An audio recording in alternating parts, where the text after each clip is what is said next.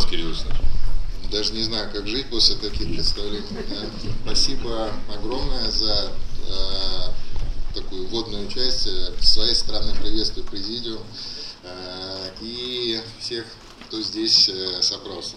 Не знаю, что можно сказать за 15 минут про дивертикул ценкера холозиокардии, тем более, может быть, что-то, какие-то видео показывать, но, видимо, речь вообще сегодняшним утром пойдет о, о таких тоннельных вмешательствах, которые, как мы понимаем, могут быть а, сочетать в себе основной этап как миотомия и резекционное вмешательство, о чем, видимо, будет говорить чуть позже Александр Александрович с нашей стороны.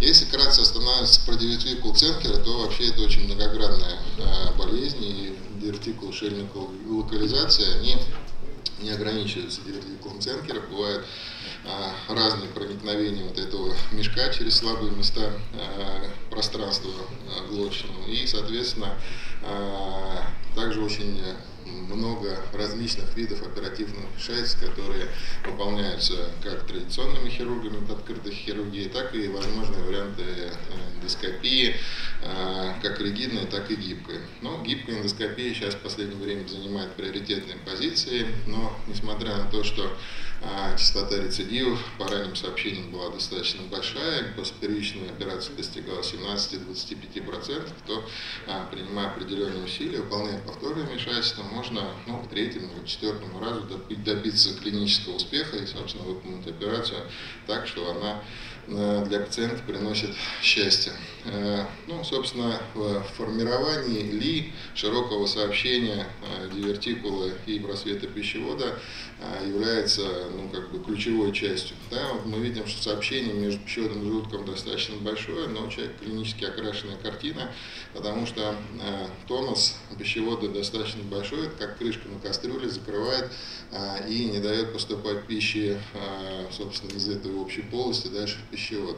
Да и стандартная операция при такой ситуации тоже не приносит никакого счастья. Да? Это повторная операция этого человека, мы видим, что пересекать-то нечего.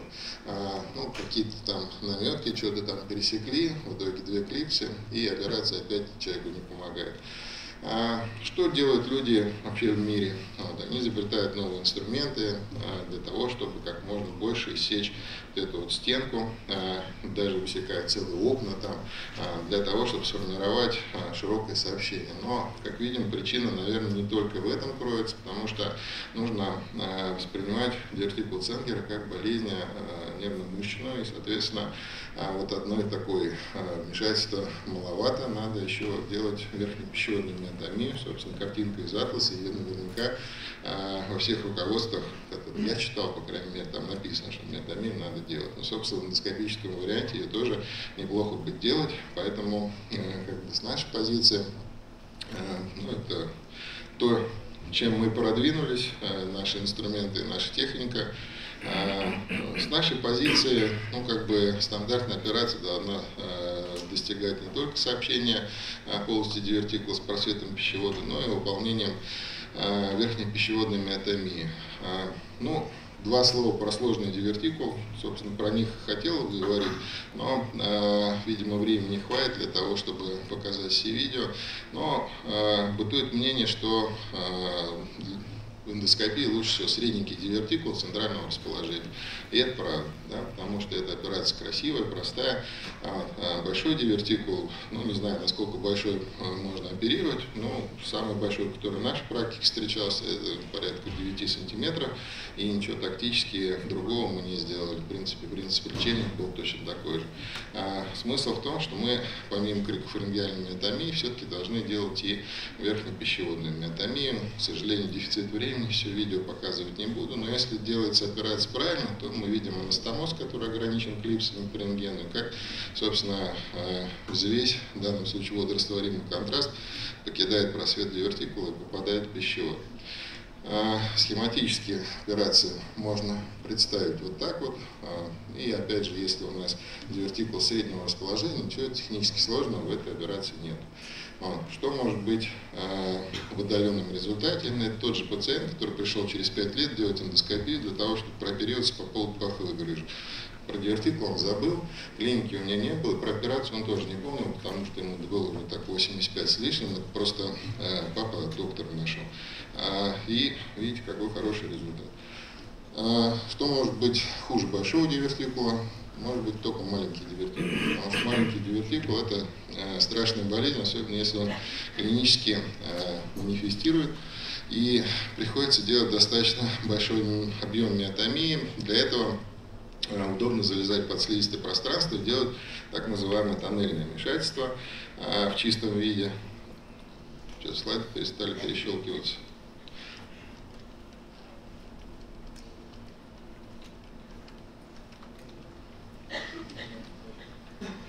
либо презентация зависла, либо батарейка закончилась. А, ну, маленький дивертикул это не, не значит, что не надо делать ту же миотомию, которую мы запланировали, залезая по слизистой слой, мы с вами видим все те же мышечные структуры, отчетливо которые надо пересекать. Это крикофарингеальная мышца, верхнепищеводная миотомия, которую мы делаем, собственно, э, ну, приблизительно на протяжении там, 4-5 сантиметров. И ну, от э, более длинной миотомии еще никто не умирал, но от короткой миотомии я вам результаты показывал. А, вот, собственно, а, чем хороша операция, то, что мы с вами в подследственном пространстве видим а, все, что должны видеть. Но, как бы, бросаться из крайности в крайность тоже плохо, потому что все сразу увлеклись тоннельным вмешательством, перестали сообщать просвет дивертикула с, просветом пищевода.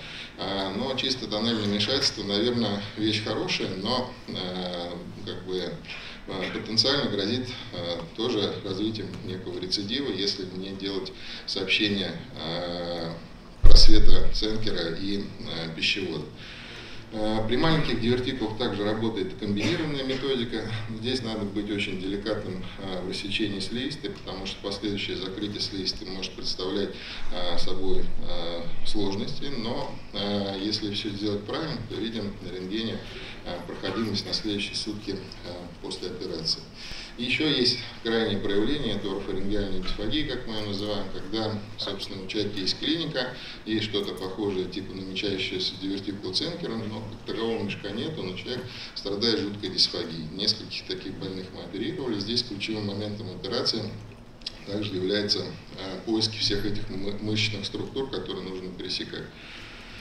Дивертикулы бокового расположения, э, уж не знаю, как их называют, там, Киллиана Джеймсона, и э, достоверно, наверное, какой это дивертикул, мы можем сказать только на открытом операции, потому что э, должно быть взаимоотношение с мышцами. Но э, при боковом расположении дивертикула э, очень сложно э, делать э, все этапы вмешательства рассекать до дна и, собственно, собирать слизистую, потому что э, есть осевые тракции слизистой дивертикулярной части пищевода, и дивертикул у нас всегда сбоку, да, сообщение хотя есть, но оно э, не такое хорошее, как при дивертикуле срединного расположения.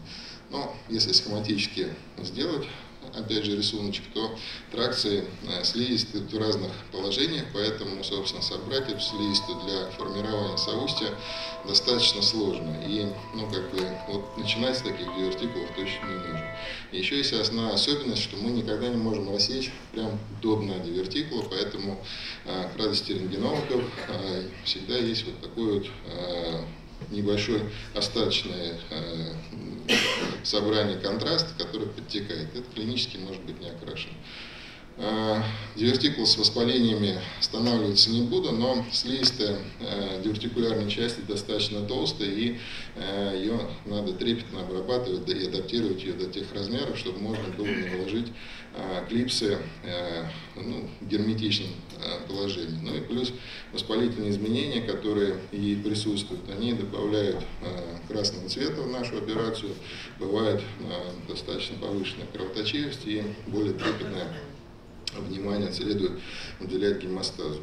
А если все сделать правильно, то слизистая может адаптироваться. Со стороны дивертикула она будет потолще, раза в 4, чем а, со стороны пищевода. Но такие вот, как мы делаем, выжигательные движения позволяют а, адаптировать слизистую по толщине для того, чтобы клипс правильно сработал. И на следующий день видим хороший результат. Дивертикул с воспалительными изменениями, это здесь уже крайнее проявление. Это э, дама которая уже хорошо пожила, что-то около 80 ей было, и э, ей везде отказывали в операции. Вот, из-за того, что просвет э, пищевода был практически вот такой, это исход дивертикула э, с воспалительными всякими изменениями, многолетние страдания. В общем, все закончилось хорошо, этот результат неожиданный, один из лучших в нашей практике, это вот то, что было после операции через три года. Э, рецидивный дивертикул. Все хирурги очень радуются, что мы оперируем и ждут, когда после нас придет рецидив, который до них дойдет. Ну, мы им такие рецидивы не отдаем, но за ними рецидивы подгребаем. И э, таких человек 10-15, ну, наверное, прооперировали. Ну, оперировать сложно, но можно. Там есть металлические констрепки, конструкции, воспалительные изменения, но э, принцип остается такой же, объем оперативного вмешательства такой же. И крикофарингеальная миотомия некоторыми хирургами, наверное, не выполняется, потому что э, объем пересекаемой мышечной ткани бывает достаточно большой, и э, мы, в принципе, не видим разницы, как будто это вообще первичная операция. Но если, опять же, все сделать правильно, то рентген на следующее утро он радует. Не буду показывать, практически то же самое. И вот эти вот результаты рецидивного дивертикула. Ну вот, возвращаясь к нашему пациенту, как бы, э, которого мы оперировали э, четыре раза. Это вот крайняя операция, когда надо было все-таки доделать то, что мы не доделали раньше. Залезть под слизистый слой, э, выделить ту называемую мышцу, которая являлась, собственно, мышцей пищевода, и сделать миотомию ниже на дивертикула. Ну, так, уже за 305 операций мы перевалили и с хорошим достаточно клиническим результатом. Ну и 3 минуты на, на миотомию пероральную эндоскопическую. Но это, наверное, а, самая первая операция, которая была предложена по тоннельной технологии.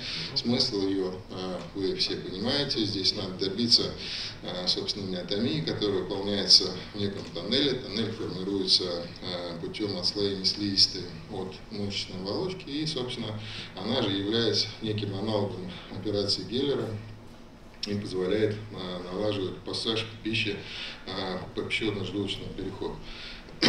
вот эта вот зеленая зона, это зона безопасности, которая позволяет нам и легко сделать, сформировать доступ к пространству, и, собственно, достаточно просто оттуда уйти. А, вид миотомии а, после завершения вмешательства а, тоже есть смысл показать, особенно хирургам. То есть это как бы обычно на уровне пищевода это миотомия с сохранением продольного мышечного слоя, на уровне кардии и желудочной части это полнослойная миотомия. Мы видим структуры, собственно, сальниковой сумки и а, обычно левую ножку диафрагмы всегда всем показываем. А это вот результаты э, левая колонка до операции, правая колонка после операции. То есть видим кардио некое состояние недостаточности, то есть есть зазор между аппаратом и просветом на инверсии и желудком мы можем видеть слизистую пищевод. И это вот стандартный классический первый тип третьей стадии, который на следующее утро тоже радует. Ну, радовали давно. А такие картинки уже не радуют, потому что э, начинаешь думать о рефлюксе. А рефлюкс – это основная беда этих э, наших операций, к сожалению, с которой мы сейчас ну, пока не можем найти адекватную борьбу. И э, боремся в основном путем как-то дозирования миотомии, чтобы миотомия была не только очень хорошей, но и э, максимально минимальной, так сказать, то есть не, не вызывала бы рефлюкса. А, чем хороша эндоскопическая операция? То, что а, помимо а, самой холозии, то есть не расслабления кардии, есть еще разные типы нарушений моторики пищевода. И если брать холозию третьего типа, либо диффузный эзофагоспазм, либо дистальный эзофагоспазм, то здесь наши, собственно, пространство мы можем начать от уровня глоточно-пищеводного перехода. И, собственно, несколько раз так и делали аж на всем протяжении, когда где было и дивертикул Ценкера, и э, эзофагоспазм. И можно делать протяженную миотомию прямо на всем протяжении, и помогает.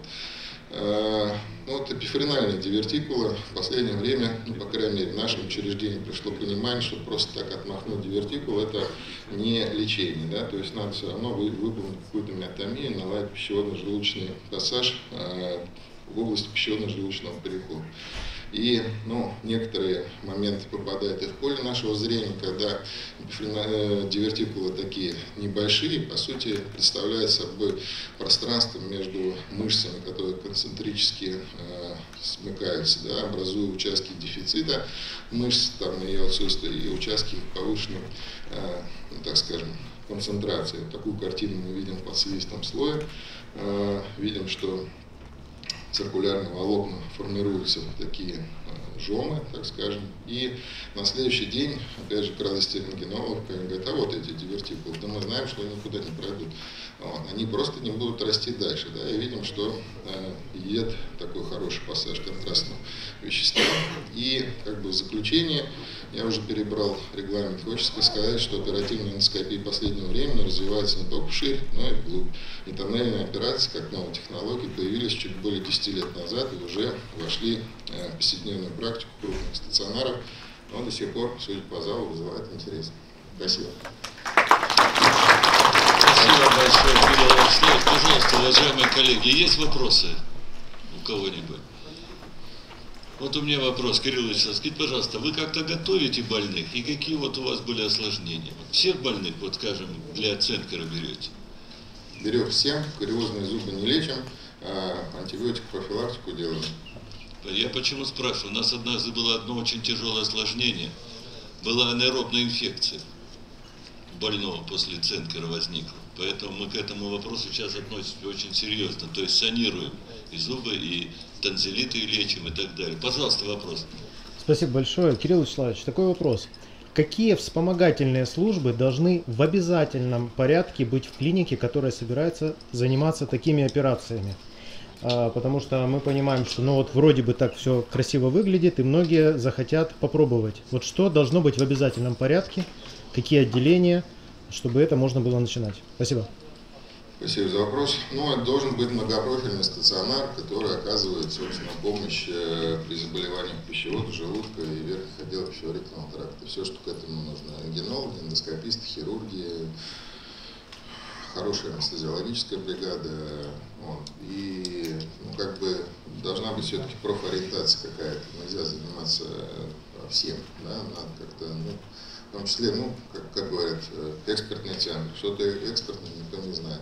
Но могу сказать, что если ты делаешь там две операции в неделю такие, то это лучше, чем когда ты делаешь одну операцию в два года. Потому что ты реально понимаешь, что ты делаешь и как ты делаешь. Если операция стоит на потоке, ну, ее проще оперировать. Спасибо большое. Спасибо. Я, это Кирилл Вячеславович абсолютно прав такие операции надо делать в многопрофильном стационаре, где есть хирургия, реанимация и все вытекающие службы. В поликлинике такие операции делать не надо, это точно. Так, пожалуйста, еще вопросы. Я задам. Можно? Да, да конечно, Юрий Геннадьевич. Кирилл Вячеславович, вот скажите, пожалуйста, а вот вы всегда вот мы оперируем тоже много таких операций делаем в последнее время особенно вы узнаете, ставите диагноз всем дивертикул Ценкера или вот все-таки Ценкера Джеймсона, или как это вот, ну, определя, определяете сразу а, дивертикул? А что изменится? Ценкер должен уже назад выходить, а часто ну, бывает налево, я, я понимаю, чаще вопрос... налево смотрит дивертикул при обследовании, да? А, ну, как бы никакой специальной подготовки, там, а, предоперационной планирования какого-то другого варианта вмешательства у нас все равно нет. Поэтому мы, в принципе, понимая, а, когда уже проникли в глотку и видим этот самый, ну, всегда говоришь, да, копаемся, да, то есть все идет ну, в процессе, что называется, онлайн. А, что боковой ценкер не нуждается в операции? Не нуждается. Да, что изменится. Вопрос не об узнаваемости, о постановке верного диагноза. А пока мы с вами операции... не увидим мышечные структуры, а мы да. с вами не увидим, но мы не можем сказать, какой он. А, мы можем сказать, что он не центральный, то есть боковой. А уж какой он там, Лаймера, там, Джеймсона, ну, да. ну Понятно. Я вот, вы говорите, я знаю, что у вас большой достаточно опыт уже операций при рецидивных дивертикулах, да? да. И значительная часть э, после открытых дивертикулоктомий, выполненных хирургами, да? И у нас тоже такой достаточно большой уже накапливается опыт. И э, вы четко понимаем, что рецидивы случаются в тех случаях, когда хирурги не выполняют миотомию. Да. Правильно? Только хирурги об этом не говорят. Мне говорят, что не нужно делать миотомию в своих конференциях. Что это все... Э, Разные есть мнения. Некоторые говорят, что делают, но мы видим, что не делают. Что не получается. говорит, что остальные Я могу, я могу сказать, что Александр Ильич Русанов в свое время, вот э, при маленьких дивертикулах, мы вообще не делали резекцию дивертикула. При открытых операциях мы делали миотомию и инвагинировали слизистую в просвет. Зашивали сверху, мышцы зашивали, и нормально, и дивертикул исчезал. То есть мы не делали, де- как делают в основном хирурги, накладывают сшивающий аппарат и так далее. А маленькие дивертикулы мы просто инвагинировали, но обязательно делали миотомию. Вы абсолютно правы. Юрий Геннадьевич, Да. в октябре, насколько я помню, предстоит внеочередной съезд РОХ, объединенный с Да-да. коллегией московских хирургов. Мне кажется, мы уже готовы к тому, чтобы предложить Андрею Владимировичу, он, наверное, А я ему уже предложил, да.